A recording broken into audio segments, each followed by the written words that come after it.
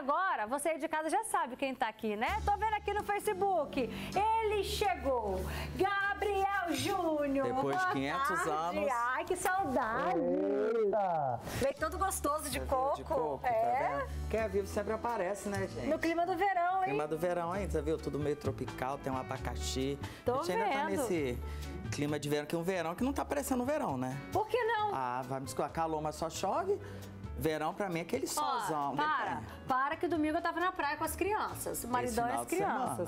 Para, Gabriel. Para. É- Para de reclamar de barriga cheia, ó. Oxe, moleque. Ó, e hoje quem vai ficar de barriga cheia são os telespectadores, Você né? viu, você viu a receita aí que eu trouxe hoje? Conta pra gente. Ó, hoje eu trouxe pra vocês de casa uma quiche, gente. Aquela quiche bem fácil, porque você fala, ai, vou fazer uma quiche, o povo já acha que é difícil, ai, não vou fazer esse negócio. Mas essa daqui, do Espaço Gourmet hoje aqui no Fala, é facinha pra você. Promete? Prometo, vai ser facinho. E outra, como eu sempre falo que eu venho aqui, receita coringa, aquela receita que você pode usar uma e vai ter um leque de variedades pra você se divertir na sua casa com a sua família. Ou seja, às vezes não tem exatamente esse recheio, pode fazer com o que tiver na geladeira. coisas, tá certo? Bora aprender a base, que é o principal, que ele falou que é fácil. É fácil. Vamos ver se é fácil Então vamos lá. Ah. Vamos começar com a massa, certo? Aqui eu vou usar o trigo, tá?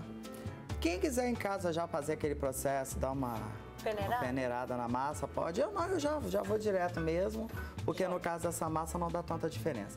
Eu pulei uma fase que as pessoas estão acostumadas a falar, ah, massa de quiche, a gente deixa a manteiga gelada na geladeira para depois. Massar diz que dá uma diferença na massa, ajuda a dar uma estrutura e tal. Eu aqui, ela tá Ambiente. ambiente, ela já tá não tão gelada e não muito quente. Então vamos colocar Mas aqui então o ideal é mais geladinha. geladinha. Só que a facilita pra- Facilita pra... Sabe, gelado, às vezes, dependendo da massa, tá muito... Ela, vai, ela fica dura, ela fica, parece igual um tijolo, né? Então, às Pesado até, vezes... Pesada, né? aí você tem dificuldade.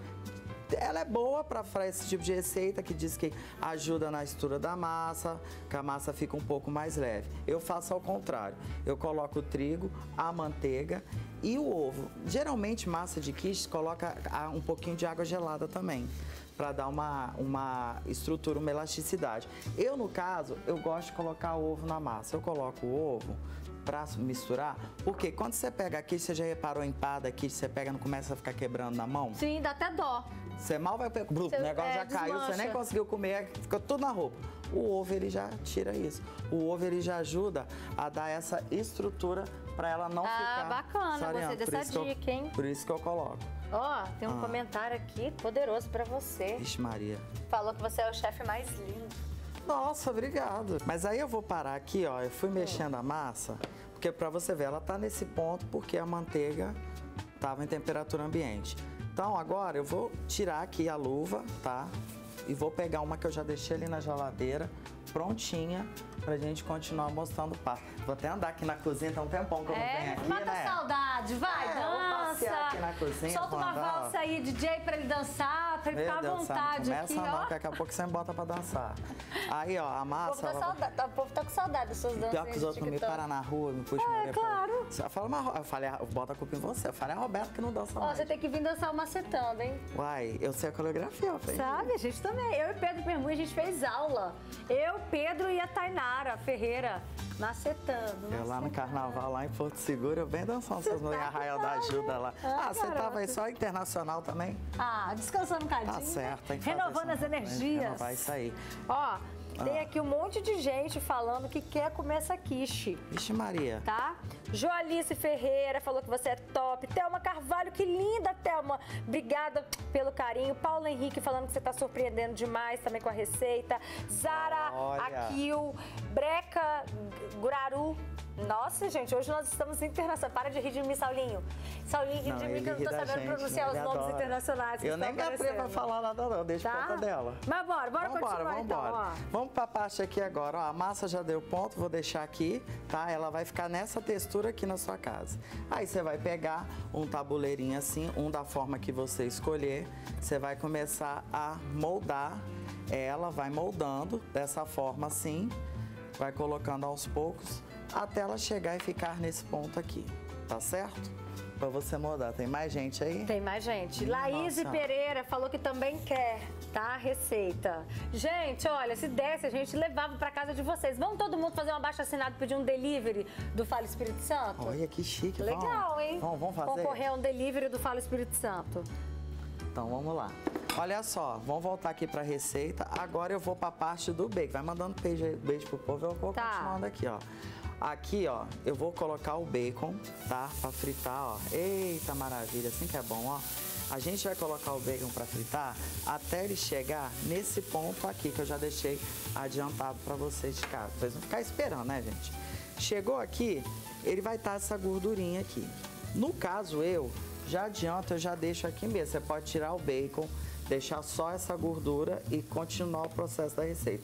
Como aqui a gente já tá no embalo, eu vou colocar agora o abacaxi, vou acabar de fritar esse abacaxi Você só esse cortou o abacaxi em cubinhos? cubinho, isso. Você corta o abacaxi em Tranquilo, cu- tem. tranquilo. Gente, Perfeito. Gabriel, eu não gosto de abacaxi. Eu posso fazer? Gente, pode. Você pode fazer com bacon, só com queijo, com damasco. Fica uma delícia também. Quando você colocar o bacon, primeiro você coloca, que isso aqui era opcional que eu queria falar pra vocês. Vocês colocam uma cebola roxa, que ela dá um, um gostinho bem levinho. Aí você dá uma refogada nela com bacon e depois você joga o abacaxi. Se Perfeito. você não quer, é aquele processo que eu já tinha ensinado no outro bloco. Misturou aqui, a gente vai pegar Eu gosto do toque, do toque, vê? Do toque. o toque. do toque, do toque da, Ei, da meu cebola Deus roxa. do céu. Aí agora o que, que você vai fazer aqui? A gente vai pegar, vai colocar creme de leite, tá? Nessa receita. Eu vou colocar agora. Em casa, gente, você deixa esfriar, tá? Não coloca assim igual eu tô fazendo. Como aqui a gente já tem um tempo, não dá tempo, a gente tem, acaba pulando certas etapas. Mas em casa, você deixa esfriar. Por quê? Se eu colocar o ovo cru aqui, automaticamente ele vai acabar coagulando, cozinhando. Por isso que não vai dar certo. Aí eu coloquei primeiro creme de leite, vou colocar os outros ingredientes para ele poder esfriar. Aí agora eu venho e coloco queijo gorgonzola. Não, mas vai ficar muito ruim, Gabriel, essa Horrível, né? receita. Horrível. Queijo gorgonzola, uma pitadinha de sal, tá?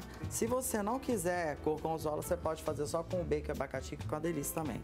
Aí, Saulinho, mostra pro pessoal de casa ali, ó, que eu fiz uma opção que no lugar do queijo gorgonzola, a gente pode fazer com cheddar. Olha que legal que fica também. Aí vai a gosto, né? Vai a gosto da pessoa. Misturou, agora sim, a gente vem, coloca um ovo, mistura o ovo. Então Ah, você Gabriel, coloca tanto o ovo na massa quanto o ovo no recheio, no recheio. né? Gabriel, eu posso colocar só a gema, só o ovo? Gente, aqui eu coloco o ovo inteiro. Eu coloco com clara, com a gema, misturo. Tem receita que é só a gema. Por que às vezes a pessoa não usa clara? Dependendo da quantidade de clara, quando você assa, se você já olhar, fica aquela receita brilhosa, tudo queimado em cima é por causa da clara. Por isso que às vezes a gente evita colocar clara. Perfeito, ó.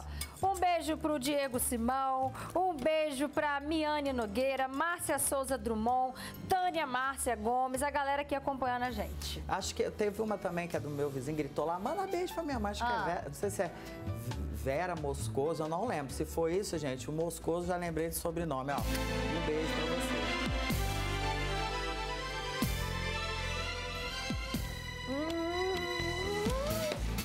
Deu até pirueta aqui, ó. Tá rodando. Você viu? Ó, Arrasou. vamos dançar umas- um negócio aqui doido aqui, ó. Olê, Deixa eu te dar um ó. beijo, um abraço. Obrigada pelo seu carinho, pela Obrigado, sua alegria e por trazer né, tantas delícias que tantas, tantas Beijo, delícias para os nossos telespectadores.